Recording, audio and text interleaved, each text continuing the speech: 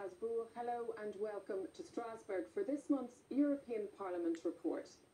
For this plenary session, I'm joined by three of our new MEPs Kieran Mullooly of Independent Ireland and the Renew Group, Cynthia Ní Mhurchú of Fianna Fáil and also within the Renew Group, and Ó Ríordáin from Labour and the Socialists and Democrats grouping. grouping. This is the first session of the new Parliament after last month's elections. That's Kieran, you ran on an almost independent platform. I suppose your, your grouping, your party at home is Independent Ireland, and you were critical of government policy during your campaign. That was central to your campaign. And yet you find yourself now in a grouping along with Fianna Fáil MEPs. Was that your natural home all along? No, I mean, I think when you when you look at uh, said that I would find no home, no grouping, and uh, coming to, to, to Brussels and to Strasbourg. We sat down initially to look for uh, common themes among the parties there, and I joined the European Democratic Party within 10 days of arriving here.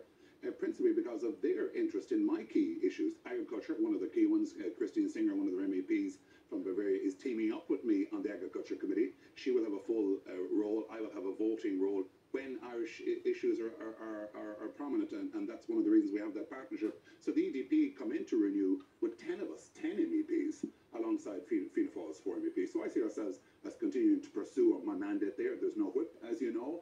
There will be issues I will agree with in terms of uh, Fianna Fáil and others, but there'll be issues I will disagree with and I will vote against. Um, Aodhán, again, coming back to your campaign ahead of the European elections, Dublin was at the centre of that. You're a Dublin MEP, obviously. We've seen more violence again on the streets of Dublin this week. How can you bring that mandate, the European mandate, to make Dublin streets safer? Well, I, did feel that Dublin had gone into decline, and the riots of last November proved it to me. And certainly, living in Dublin is very difficult. The cost of living is very high. Housing is a huge issue. So, from the beginning of all my contributions in my own group, the Social Democrats group, I've spoken about the, the three priorities in Dublin is housing, housing, and housing, and, and that phrase has has gone around and come back again uh, to me over the last number of weeks. It's been uh, a key plank of our discussions with other groups uh, as to what we need to do over the next five years. Housing has to be key over the next period of time. It has been said though that housing isn't really a European competence. Well, they say that, but I mean, uh, the state aid rules, uh, state aid rules are, are, are, something that the European Union absolutely can uh, affect. It does limit the local authorities' capacity to, to bulk build social and affordable housing.